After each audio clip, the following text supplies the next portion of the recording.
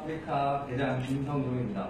어, 저는 사실 어렸을 때 이제 꼭 하고 싶었던 게 해외로 한번 나가보고 싶었습니다. 왜냐면 친구들이 방학 때 이렇게 나는 이모 집에 뭐 호주에 갔다 왔어, 캐나다 갔다 왔어, 저는 아무도 없는 겁니다. 그래서 근데 저희를 이제 가고 싶은데 저희 친척님들 보낼 수는 없잖아요. 그럼 제가 나가서 거점이 되자라는 게 제 어릴 때 생각이었어요.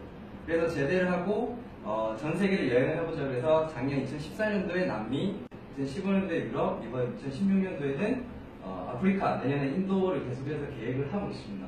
근데 그 와중에 제가 봤더니 아까 제일 중요한 거 말씀해 주신 것처럼 거기에 현지인이 있냐 없느냐가 사실은 거기에 내가 얼마만큼의 효율을 또는 가서 보고 느끼는 것들이 참 다르더라고요.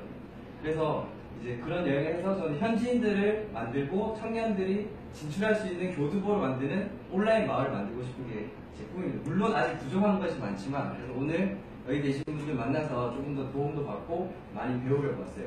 근데 제가 딱 한 가지 말씀을 드리자면 어, 조금 제가 여행을 하면서 20개국 정도밖에 안 했지만 어, 제가 부족하다고 느낀 게 저는 한국이 많이 모자라고 뭐 정치적인 문제도 많고 뭐 청년들 말로는 헬도선이다 이런 것들도 많아서 걱정을 많이 했었는데 제가 나가보니까 오히려 한국이 좋은 점도 많고 또 제가 한국에 대해서 소개를 할 때잘 몰랐던 부분들도 굉장히 많더라고요. 그래서 내가 더 공부를 하고 한국을 좀 더 알려보자 라는 생각으로 요즘에는 어, 공부도 많이 하고 또 제가 주변에 아시는 분들에서 배워서 한번 나가서 그렇게 잘은 못하지만 그런 것들을 제가 뭐 이제 인간 외교관 또는 이제 그런 좀 더 세계적인 시민 그런 마음으로 해보려고 노력 중입니다. 잘 부탁드리겠습니다.